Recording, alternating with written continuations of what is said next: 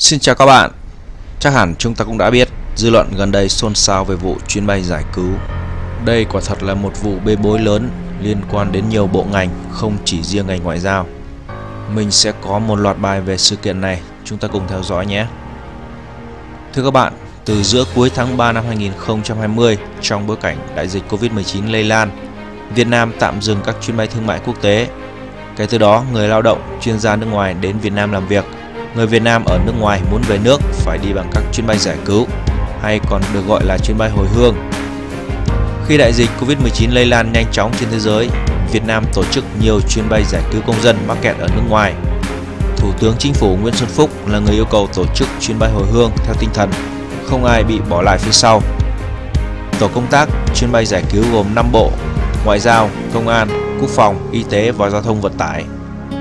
Từ tháng 4 năm 2020 đến tháng 1 năm 2022, Cục lãnh sự Bộ Ngoại giao đã tập hợp đề xuất lãnh đạo chính phủ phê duyệt tổ chức thực hiện 772 chuyến bay đưa công dân từ nước ngoài về nước, trong đó có 400 chuyến bay giải cứu và 372 chuyến bay combo. Tuy nhiên, có nhiều ý kiến phàn nàn giá vé các chuyến bay nhân đạo đưa công dân về nước cao hơn so với bình thường, cao hơn rất nhiều. Nhân đạo mà như là đạo tặc móc túi chóng trợn vậy tế thì các chuyến bay combo do các công ty được cơ quan ngoại giao chỉ định thực hiện.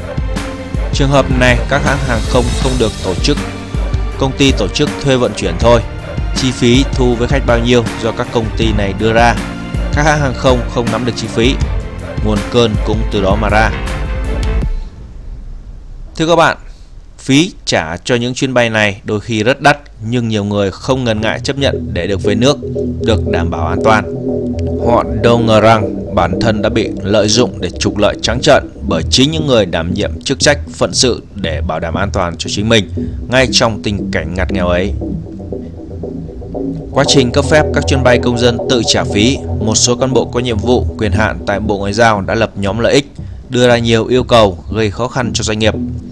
Do đó, doanh nghiệp phải tìm cách gặp gỡ, ra giá trung chi cho mỗi chuyến bay Cục trưởng Cục lãnh sự Nguyễn Thị Hương Lan chủ yếu chỉ lựa chọn các doanh nghiệp được cấp trên chỉ định do người thân nhờ hoặc đã chi tiền trước để đưa vào danh sách đề xuất cấp phép.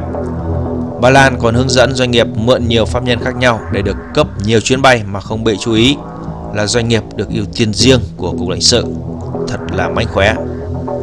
Với doanh nghiệp chưa chịu đưa hối lộ, bà Lan và nhiều thuộc cấp không đưa vào danh sách dù chính phủ đã đồng ý chủ trương cấp phép thường xuyên thông báo ngày bay sát với ngày doanh nghiệp nhận được thông báo hoặc đổi kế hoạch bay. Điều này nhằm mục đích gây khó dễ là để ép doanh nghiệp gặp gỡ và phải đưa hối lộ mới được đề xuất cấp phép. Mai ngày kia là bay rồi mà hôm nay tôi mới thông báo cho anh là mai ngày kia anh được cấp phép đấy, anh chuẩn bị đi, gọi người đi, chuẩn bị phương án đi thì bố ai mà làm kịp đúng không ạ? À? Nhất là trong bối cảnh đại dịch đi lại khó khăn, phức tạp. Thưa các bạn, Tại cuộc họp báo của Bộ Ngoại giao ngày 20 tháng 1 năm 2022, người phát ngôn Bộ Ngoại giao Lê Thị Thu Hằng khẳng định chủ trương đưa công dân Việt Nam ở nước ngoài có nhu cầu và hoàn cảnh khó khăn về nước là chủ trương đúng đắn và nhân đạo của Đảng và Chính phủ Việt Nam.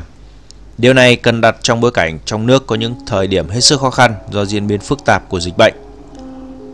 Vâng, kính thưa các bạn, từ một chủ trương hết sức nhân đạo và đúng đắn, thể hiện tính nhân văn của Đảng và Nhà nước ta – thì các đồng chí công bộc của nhân dân đã biến ngay thành cơ hội để kiếm tiền trên mồ hôi, nước mắt, thậm chí là xương máu của đồng bào.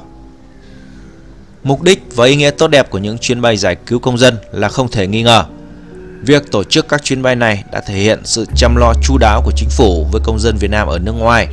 Ngoài ra cũng thể hiện tính nhân văn sâu sắc. Thời điểm đó ít có quốc gia thực hiện các chuyến bay giải cứu tốt như Việt Nam Việt Nam đã ghi một dấu ấn ngoại giao điển hình về sự việc bảo hộ công dân. Việt Nam cũng đã nhận được sự tôn trọng, tán thưởng của các cơ quan ngoại giao nước ngoài. Thế nhưng chủ trương tốt đẹp đã bị không ít cán bộ biến chất cấu kết với người ngoài làm hoen ố. Bất chấp tất cả, họ biến nhu cầu về sự an toàn của người dân thành cơ hội kiếm tiền. Thật tàn nhẫn thay. Thế nhưng vải thưa không che được mắt thánh, cây kim trong bọc cũng có ngày lòi ra. Ngày 27 tháng 1 năm 2022, Bộ Ngoại giao đã ra quyết định đình chỉ công tác với 4 cán bộ cục lãnh sự bao gồm Cục trưởng Nguyễn Thị Hương Lan, Cục Phó Đỗ Hoàng Tùng, Tránh Văn phòng Cục Lê Tuấn Anh và Phó trưởng phòng Bảo hộ công dân Lưu Tuấn Dũng để phục vụ công tác điều tra.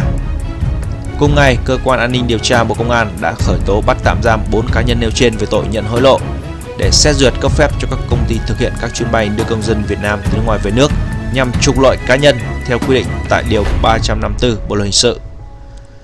Đến tháng 3, bà Nguyễn Diệu Mơ, 42 tuổi, tổng giám đốc công ty trách nhiệm hạn thương mại, du lịch và dịch vụ hàng không An Bình bị khởi tố bắt tạm giam với các buộc đưa hối lộ.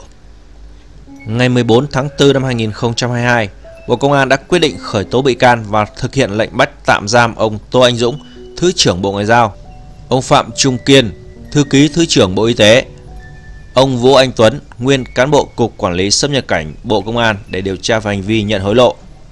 Hàng loạt các bê bối bắt đầu được phanh phui. Vụ án điều tra chuyến bay giải cứu đã được khởi động và tiến hành. Còn rất nhiều điều ly kỳ và thật không ngờ tới. Chúng ta hãy cùng đón xem ở phần tiếp theo nhé.